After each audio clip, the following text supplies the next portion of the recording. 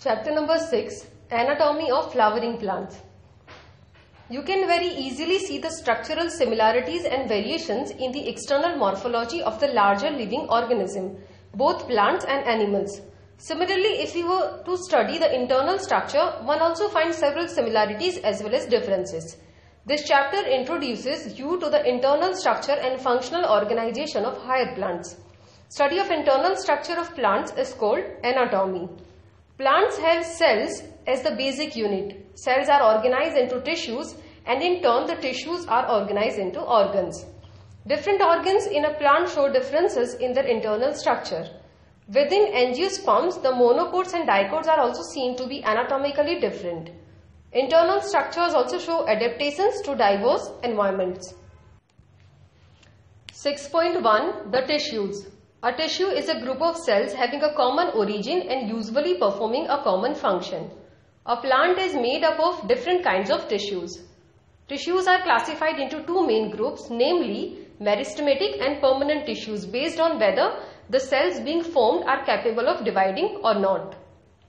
6.1.1 Meristematic tissues. Growth in plants is largely restricted to specialized regions of active cell division called meristems. Plants have different kinds of meristems. The meristems which occur at the tips of roots and shoots and produce primary tissues are called apical meristems. Root apical meristem occupies the tip of a root while the shoot apical meristem occupies the distant most region of the stem axis. During the formation of leaves and elongation of stem, some cells left behind from shoot apical meristem constitute the axillary bud. Such buds are present in the axils of leaves and are capable of forming a branch or a flower. The meristem which occurs between mature tissues is known as intercalary meristem. They occur in grasses and regenerate parts removed by the grazing herbivorous. Both apical meristems and intercalary meristems are primary meristems because they appear early in life of a plant and contribute to the formation of the primary plant body. The meristem that occurs in the mature regions of roots and shoots of many plants, particularly those that produce woody axis and appear later than primary meristem is called the secondary or lateral meristem. They are cylindrical meristems, fascicular vascular cambium, interfascicular cambium and cork cambium are example of lateral meristems. These are responsible for producing the secondary tissues. Following divisions of cells in both primary and as well as secondary meristems, the newly formed cells become structurally and functionally specialized and lose the ability to divide. Such cells are termed permanent or mature cells and constitute the permanent tissues. During the formation of the pri primary plant body, specific regions of the apical meristem produce dermal tissues, ground tissues and vascular tissues. 6.1.2 Permanent tissues. The cells of the permanent tissues do not generally divide further. Permanent tissues having all cells similar in structure and function are called simple tissues. Permanent tissues having many different types of cells are called complex tissues. 6.1.2.1 Simple tissues. A simple tissue is made of only one type of cells. The various simple tissues in plants are parenchyma, collenchyma and sclerenchyma. Parenchyma forms the major component within organs. The cells of the parenchyma are generally isodiametric. They may be spherical, oval, round, polygonal or elongated in shape. Their walls are thin and made up of cellulose. They may either be closely packed or have small intercellular spaces. The parenchyma performs various functions like photosynthesis, storage, secretion. The collenchyma occurs in layers below the epidermis in dicotyledonous plants. It is found either as a homogeneous layer or in patches. It consists of cells which are much thickened at the corners due to a deposition of cellulose, hemicellulose and pectin. Collenchymatous cells may be oval, spherical or polygonal and often contain chloroplast. These cells assimilate food when they contain chloroplast. Intercellular spaces are absent. They provide mechanical support to the growing parts of the plant such as young stem and petiole of a leaf. Sclerenchyma consists of long narrow cells with thick and lignified cell walls having a few or numerous pits. They are usually dead and without protoplast. On the basis of variation in form structure, in form, structure, origin and development, sclerenchyma may be either fibers or sclereids. The fibers are thick-walled, elongated and pointed cells generally occurring in groups in various parts of the plant. The sclereids are spherical, oval or cylindrical, highly thickened dead cells with very narrow cavities. These are commonly found in the fruit walls of nuts, pulp of fruits like guava, pear and sapota seed coats of legumes and leaves of tea. Sclerenchyma provides mechanical support to organs. 6.1.2.2 Complex tissues The complex tissues are made of more than one type of cells and these work together as a unit. Xylem and phloem constitute the complex tissue in plants. Xylem functions as a conducting tissue for water and minerals from roots to the stem and leaves. It also provides mechanical strength to the plant parts. It is composed of four different kinds of elements, namely tracheids, vessels, xylem fibers and xylem parenchyma. Gymnosperms lack vessels in their xylem. Tracheids are elongated or tube-like cells with thick and lignified walls and tapering ends. These are dead and are without protoplasm. The inner layers of the cell walls have thickenings which vary in form. In flowering plants, tracheids and vessels are the main water transporting elements. Vessel is a long cylindrical tube-like structure made up of many cells called vessel members, each with lignified walls and a large central cavity. The vessel cells are also devoid of protoplasm. Vessel members are interconnected through Perforations in their common walls. The presence of vessels is a characteristic feature of angiosperms. Xylem fibers have highly thickened walls and obliterated, obliterated central lumens. This may either be septate or aseptate. Xylem parenchyma cells are living and thin-walled and the cell walls are made up of cellulose. They store food materials in the form of starch or fat and other substances like tannins. The radial conduction of water takes place by the ray parenchymatous cells. Primary xylem is of two types, protoxylem and metaxylem. The first formed primary xylem elements are called protoxylem and the later formed primary xylem is called metaxylem. In stems, the protoxylem lies towards the center and the metaxylem lies towards the periphery of the organ. This type of primary xylem is called endarch.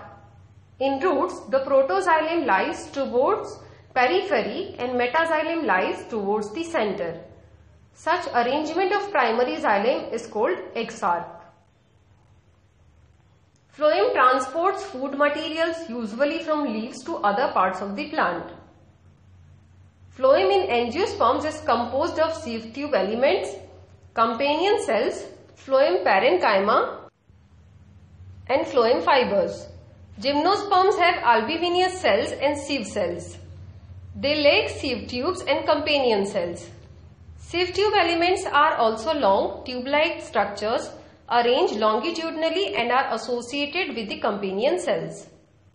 Their end walls are perforated in a sieve-like manner to form the sieve plates.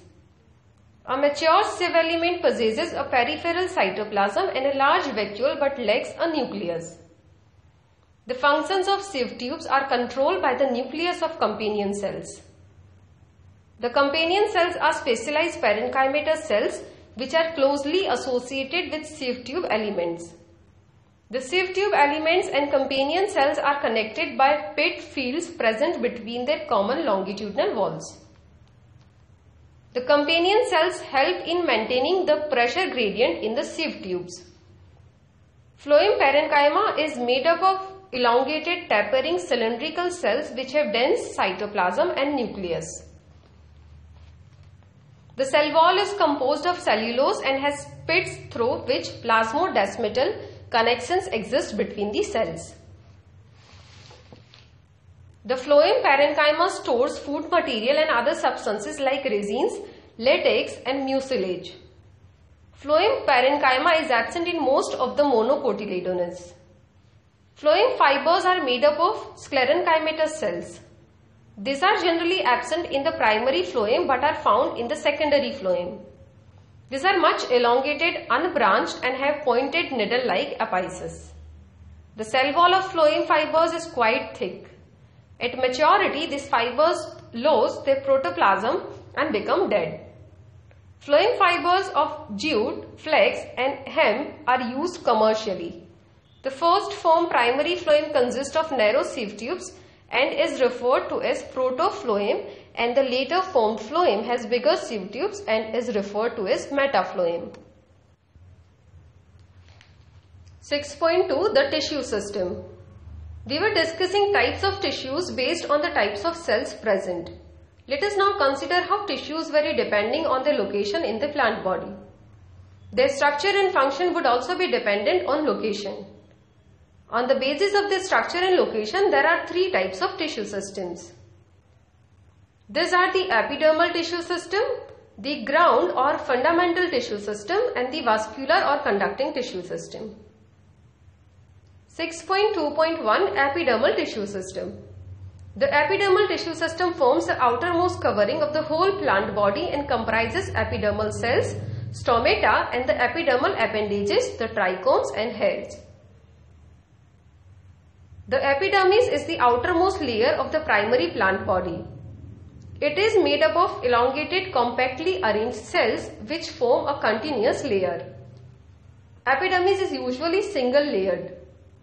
Epidermal cells are parenchymatous with a small amount of cytoplasm lining the cell wall and a large vacuole. The outside of the epidermis is often covered with a waxy thick layer called the cuticle which prevents the loss of water. Cuticle is absent in roots. Stomata are structures present in the epidermis of leaves. Stomata regulate the process of transpiration and gaseous exchange. Each stoma is composed of two bean-shaped cells known as guard cells which enclose stomatal pore. In grasses, the guard cells are dumbbell shaped. The outer walls of guard cells are thin and the inner walls are highly thickened. The guard cells possess chloroplast and regulate the opening and closing of stomata. Sometimes a few epidermal cells in the vicinity of the guard cells become specialized in the shape and size and are known as subsidiary cells. The stomatal aperture, guard cells and the surrounding subsidiary cells are together called stomatal apparatus.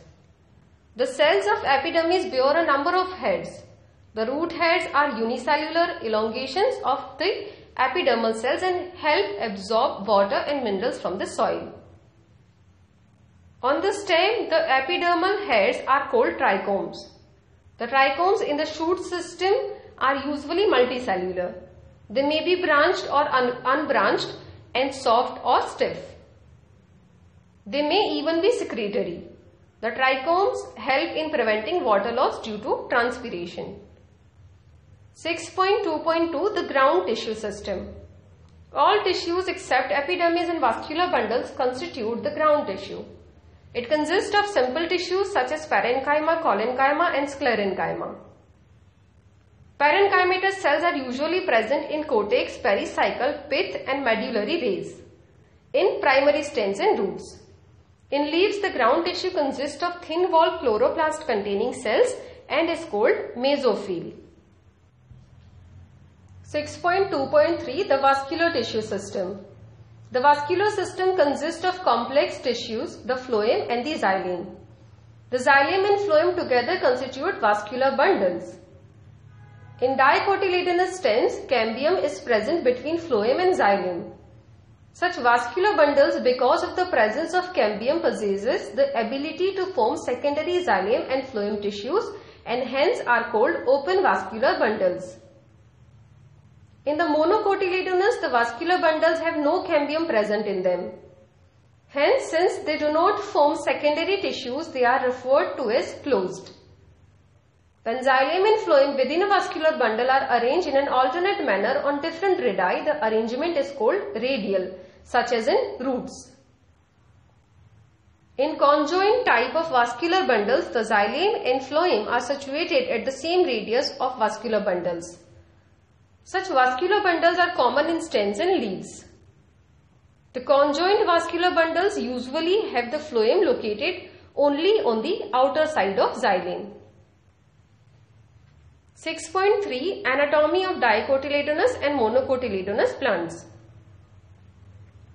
For a better understanding of tissue organization of roots, stems and leaves, it is convenient to study the transverse sections of the mature zones of these organs. 6.3.1 Dicotyledonous root Look at figure 6.6a. It shows the transverse section of the sunflower root. The internal tissue organization is as follows. The outermost layer is epidermis. Many of the epidermal cells protrude in the form of unicellular root hairs. The cortex consists of several layers of thin-walled parenchyma cells with intercellular spaces. The innermost layer of the cortex is called endodermis. It comprises a single layer of barrel-shaped cells without any intercellular spaces. The tangential as well as radial walls of the endodermal cells have a deposition of water impermeable waxy material suberin in the form of Casparian strips. Next to endodermis lies a few layers of thick-walled parenchymatous cells referred to as pericycle. Initiation of lateral roots and vascular cambium during the secondary growth takes place in these cells. The pith is small or inconspicuous. The parenchymatous cells which lie between the xylem and the phloem are called conjunctive tissue. There are usually two or four xylem and phloem patches. Later a cambium ring develops between the xylem and phloem. All tissues on the inner side of the endodermis such as pericycle, vascular bundles and pith constitute the stele. 6.3.2 Monocotyledonous root The anatomy of the monocot root is similar to the dicot root in many respects. It has epidermis, cortex, endodermis, pericycle, vascular bundles and pith. As compared to the dicot root which have fewer xylem bundles, there are usually more than 6 xylem bundles in the monocot root. Pith is large and well developed. Monocotyledonous roots do not undergo any secondary growth. 6.3.3 Dicotyledonous stem The transverse section of a typical young dicotyledonous stem shows that the epidermis is the outermost protective layer of the stem covered with a thin layer of cuticle. It may bear trichomes and a few stomata. The cells arranged in multiple layers between epidermis and pericycle constitute the cortex. It consists of three subzones. The outer hypodermis consists of a few layers of collenchymatous cells just below the epidermis which provide mechanical strength to the young stem. Cortical layers below hypodermis consist of rounded thin-walled parenchymatous cells with conspicuous intercellular spaces. The innermost layer of the cortex is called the endodermis. The cells of the endodermis are rich in starch grains and the layer is also referred to as the starch sheath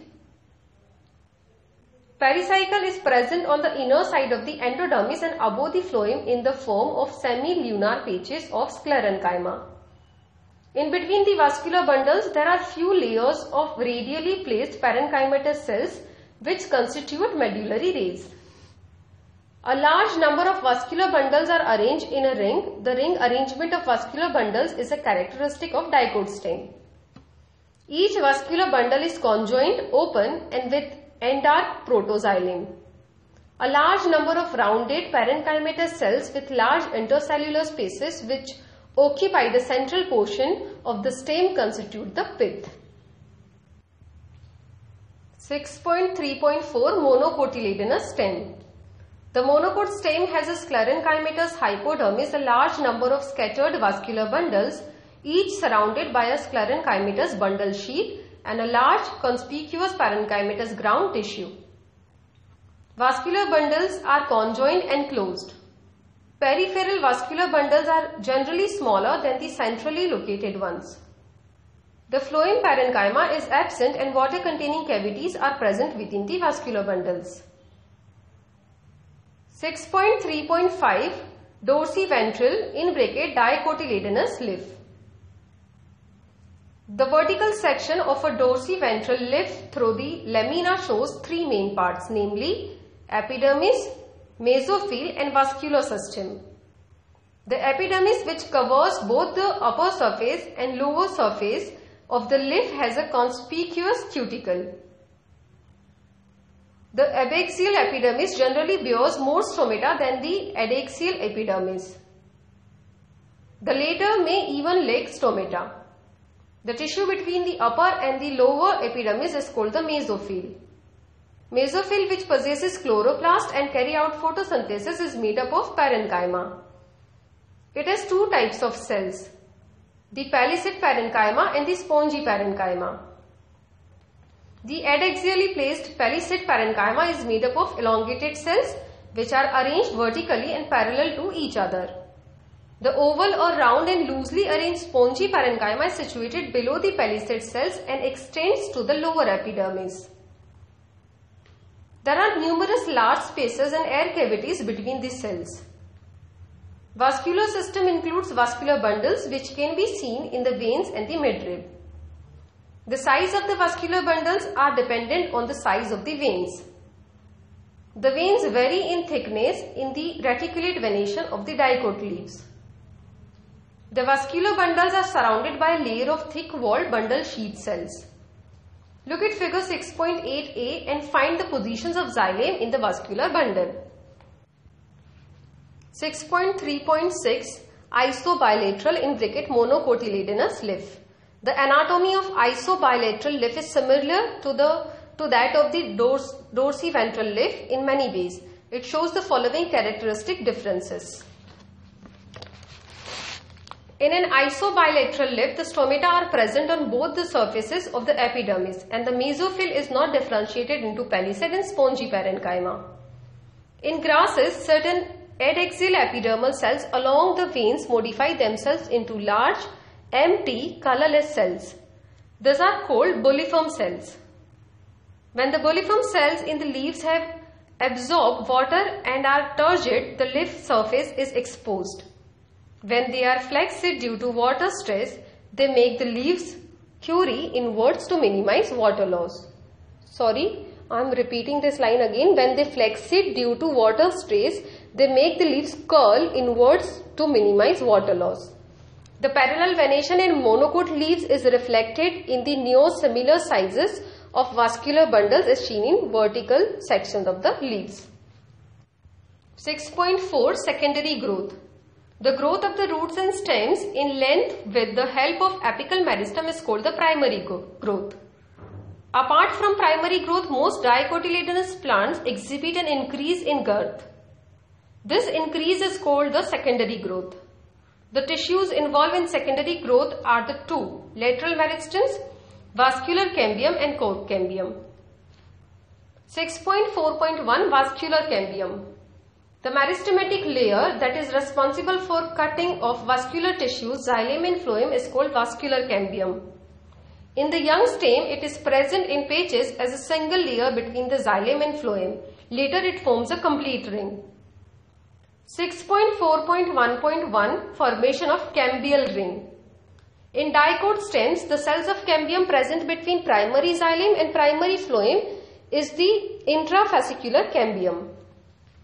The cells of medullary rays adjoining this intrafascicular cambium become meristematic and form the interfascicular cambium. Thus a continuous ring of cambium is formed. 6.4.1.2 Activity of the cambial ring the cambial ring becomes active and begins to cut off new cells both towards the inner and the outer sides.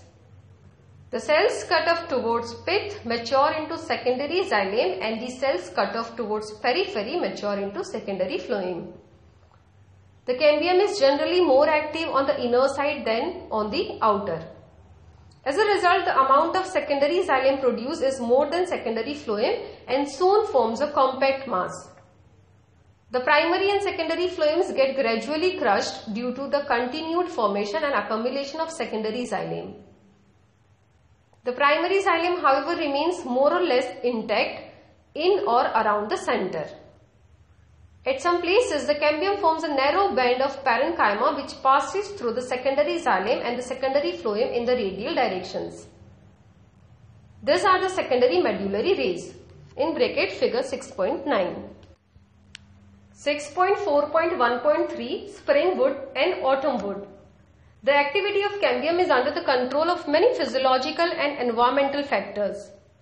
In temperate regions, the climatic conditions are not uniform through the year.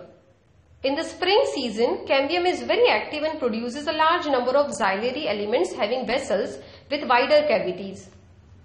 The wood formed during this season is called spring wood or early wood. In winter, the cambium is less active and forms fewer xylem elements that have narrow vessels and this wood is called autumn wood or late wood.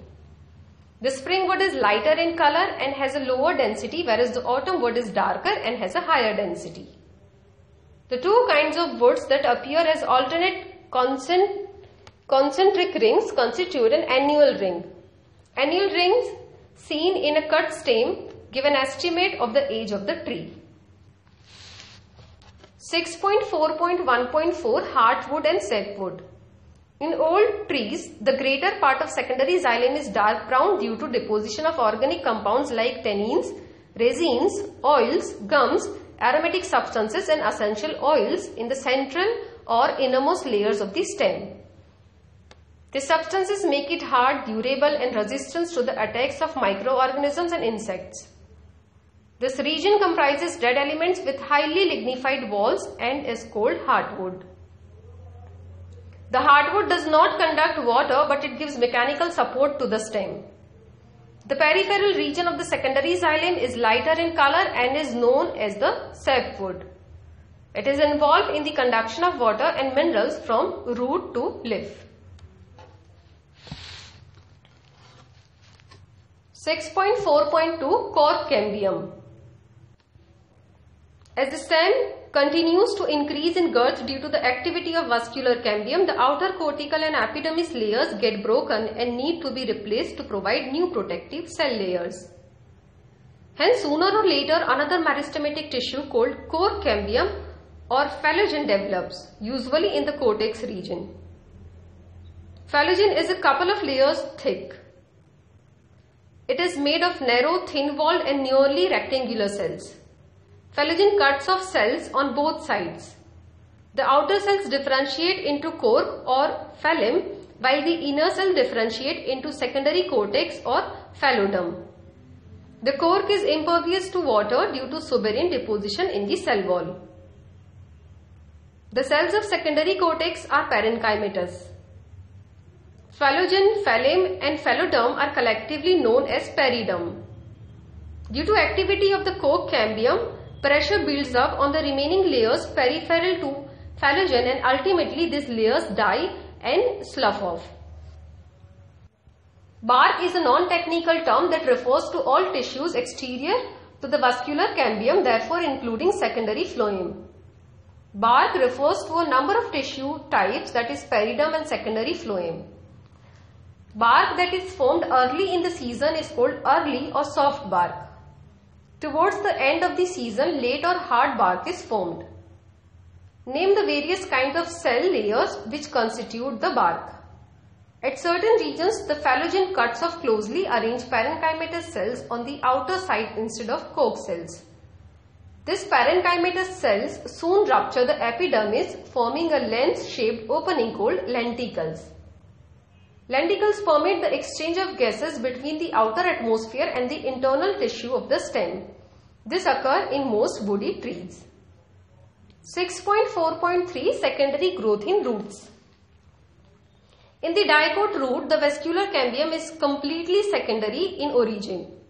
It originates from the tissue located just below the phloem bundles, a portion of pericycle tissue above the protoxylem forming a complete and continuous wavy ring which later becomes circular. Further events are similar to those already described above for a dicotyledon stem. Secondary growth also occurs in stems and roots of gymnosperms.